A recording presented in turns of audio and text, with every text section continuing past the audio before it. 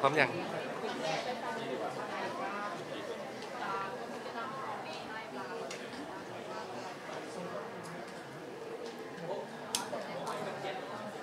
ตอนนี้ก็กดไม่ได้กดออกมาเลยกดออกมานิววันนิววันอะกดออกมาผมสูงไม่พอใช่ครับต้องขอบคุณท่านสื่อมวลชนนะครับ ที่กรุณา มาร่วมกันตรงนี้ครับตั้งใจจะกลับเรียนว่าตั้งแต่วันที่ 8 กุมภาพันธ์ที่ผ่านมานะครับ ท่านนายกเศรษฐาทวีสินได้ลงนามแต่งตั้ง ท่านรัฐมนตรีช่วยว่าการกระทรวงมหาดไทย ท่านชาดาไทยเศษเป็นที่ปรึกษาของคณะกรรมการกำกับ และแก้ไขหนี้สินภาคประชาชนรายย่อยนะครับ ซึ่งในชุดนั้นเนี่ยผมทำหน้าที่เป็นประธานกรรมการนะครับ ในขณะเดียวกันเนี่ยการแก้ไขหนี้สินส่วนที่สำคัญอีกส่วนหนึ่งคือ การแก้ไขหนี้นอกระบบ ท่านออรองนายกรัฐมนตรี และรัฐมนตรีว่าการกระทรวงมหาดไทยท่านอนุทินชาญวีรกูลเนี่ยเป็นประธานในชุดนั้นนะครับ แล้วก็ผมทำหน้าที่เป็นที่ปรึกษา ดังนั้นการที่ท่านนายกเศรษฐาได้ลงนามแต่งตั้งท่านรัฐมนตรีช่วยว่าการชาดาไทยเศรษเนี่ยถือเป็นเเรื่องสำคัญทีเดียว เพราะว่าท่านจะสามารถเชื่อมโยงภารกิจของคณะกรรมการทั้งสองชุดเข้าด้วยกัน ให้สมกับเจตนาของท่านนายกรัฐมนตรีนะครับที่ต้องการจะแก้ไขหนี้สินทุกประเภทให้เบ็ดเสร็จครบวงจร ก็ผมเองได้มีโอกาสปรึกษาหารือกับท่านรัฐมนตรีช่วยว่าการ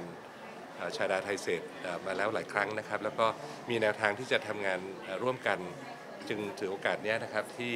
ได้กราบเรียนเชิญท่านรัฐมนตรีช่วยว่าการกระทรวงมหาดไทยท่านชาดาไทยเศษเพื่อให้ท่านได้เรียนความตั้งใจในการทำงานกับท่านสื่อมวลชนครับขออนุญาตกราบเรียนท่านรัฐมนตรีครับ ครับก็เรียนพี่น้องสื่อมวลชนครับก่อนอื่นก็ต้องขอบคุณนะครับ ผมแล้วก็ขอบคุณท่านนายกรัฐมนตรีนะที่ให้ความไว้วางใจในการมาช่วยกันร่วม ร่วมกันแก้หนี้นอกระบบในระบบนะซึ่งท่านนายกก็อยากจะให้ไปทั้งสองอย่าง เพราะว่านอกระบบกับในระบบเนี่ยมันเกี่ยวเนื่องกันนะครับ ผมเรียนด้วยความเคารพว่า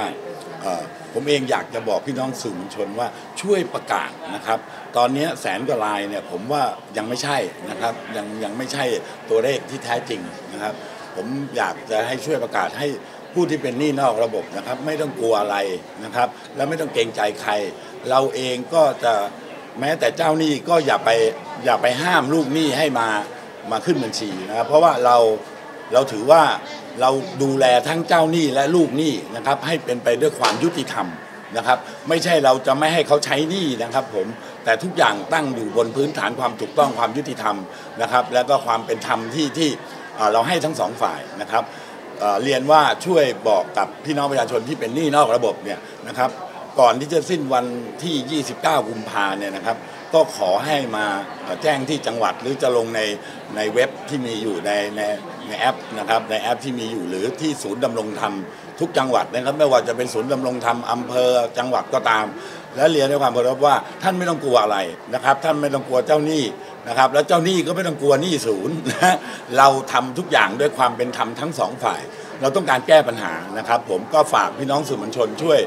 ประชาสัมพันธ์ด้วยนะครับ ให้พี่น้องประชาชนได้รับทราบ และมาร่วมมือกันนะครับในการแก้ไขปัญหา เพราะปัญหานี้นอกระบบนี้ในระบบนั้น เป็นปัญหาของคนไทยจำนวนมากนะครับ ในประเทศนี้เป็นความเดือดร้อนของพี่น้องประชาชนในระดับกลางระดับล่างนะครับ รัฐบาลโดยการนำของท่านนายกเศรษฐา ต้องการแก้ไขปัญหาเรื่องนี้ให้ยุตินะครับ ให้ยุติแล้วมีทางเดินที่ไปในอนาคตที่เป็นธรรมกับทุกฝ่ายนะครับ ก็ฝากไว้ด้วยนะครับ ขอให้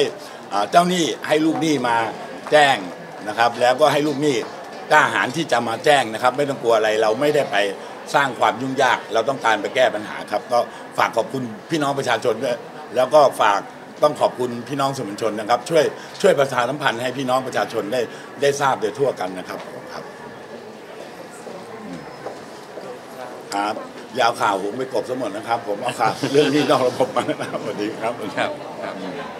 ถามอะไรไหมมีอะไรไหมครับ ไม่ถามผมถามผมบอกเอง อ่า มันมีลูกหนี้จำนวน แสนกว่ารายที่มาลงทะเบียนแล้วที่ท่านรัฐมนตรีช่วยว่าการชาดาได้เรียนว่าเชื่อว่ามีจำนวนมากกว่านั้นอีกมากนะครับลูกหนี้เหล่านี้ตั้งคำถามว่าเขามาลงทะเบียน แต่เจ้าหนี้ไม่มาลงทะเบียนเราจะให้เดินยังไงต่อ ผมเรียนในหลักกฎหมายก่อนเลยนะครับหนี่นอกระบบคือเรียกเก็บดอกเบี้ยเกินกว่าอัตราที่กฎหมายกำหนด ดอกเบี้ยที่เรียกนั้นเนี่ยถือเป็นโมฆะทั้งหมดตั้งแต่บาทแรกเลยนะครับ ไม่ใช่ตั้งแต่อัตราที่เกิน ดังนั้นถ้าเกิดเจ้าหนี้ไม่มาตกลงเนี่ยนะครับ ขอให้ลูกหนี้หยุดจ่ายทันทีนะครับเพราะสิ่งที่ท่านจะต้องจ่ายเนี่ยมันคือเงินต้นที่ต้องจ่ายคืน แต่ที่ท่านรัฐมนตรีได้พูดชัดเจนนะครับ เป็นลูกหนี้ต้องใช้หนี้นะครับ เพราะฉะนั้นถ้าจ่ายคืนเงินต้นยังไม่ครบควรจะต้องจ่ายเงินต้นให้ครบ เจ้าหนี้ที่กลัวว่าลูกหนี้จะไม่ยอมจ่ายคืนเงินต้นนั้นเนี่ยท่านก็มีสิทธิ์ได้รับการคุ้มครองนะครับ แต่ท่านไม่มีสิทธิ์ที่จะเรียกเก็บดอกเบี้ยเกินกว่าอัตราที่กำหนด เพราะฉะนั้นในการ ถ้าในกรณีที่มีคนตั้งคำถามว่า ในกรณีที่ดอกเบี้ยจ่ายไปแล้วมากมายจนท่วมต้นไปแล้วเนี่ยบางคนเป็นเท่าๆเนี่ยนะครับ ในหลักการนะครับ ถือว่าหมดหนี้แล้วนะครับ ดังนั้นจะมาตกลงกันทำความเข้าใจกันจะได้ไม่ต้องเป็นปัญหาในเชิงของข้อกฎหมายกันนะแล้วก็เจ้าหนี้บางคนเนี่ยก็ปล่อยหนี้หลาย ๆ รายนะครับ เพราะฉะนั้นสิ่งที่ท่านทำเนี่ยถ้าหากไม่เข้ามาหารือกันเนี่ยเดี๋ยวท่านจะมีความเสี่ยงนะในการที่ ระทำผิดกฎหมายอย่างร้ายแรง เพราะว่ามันเป็นขบวนการในการปล่อยหนี้เกินกว่ากฎหมายกำหนดนะครับขอบคุณครับครับก็กฎหมายให้โอกาสแล้วนะครับทางทางเราให้โอกาสแล้วก็ขอให้ใช้โอกาสนี้ให้เป็นประโยชน์กับท่านนะครับ เพราะเราต้องการมาแก้ปัญหาครับขอบคุณมากครับผมครับขอบคุณครับขอบคุณนะครับผมก็ตีด่วนยังไ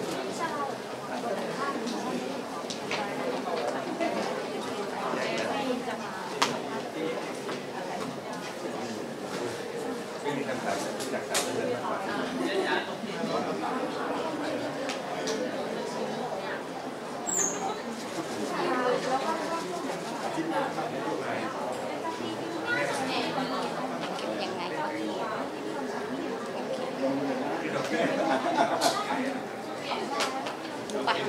you.